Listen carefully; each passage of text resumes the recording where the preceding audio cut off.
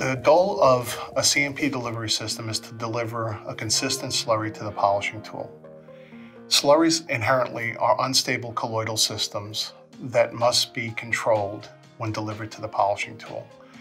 We must have a consistent particle size distribution and no large particle counts. Large particle counts play a critical role in polishing wafers.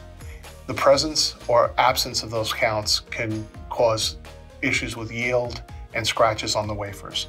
Entegris makes a complete line of filters that removes these large particles from the CMP slurry stream. And the Accusizer Mini, which is a great tool, can actually look at those counts and let you know what the quantitative amounts of those counts are on a day-to-day -day basis, constantly monitoring them. So to combine those two technologies together, you can actually both find accounts when you have them and then either change filters or put filters in place to remove those counts. The Accusizer Mini was developed by working with our customers. At first, we started selling the Accusizer Mini into the customers that were making CMP slurries.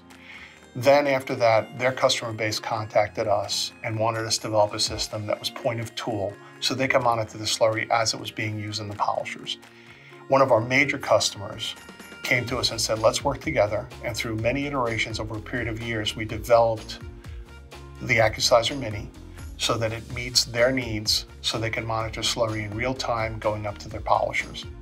Entegris is the only partner that offers end-to-end solutions across the entire semiconductor ecosystem.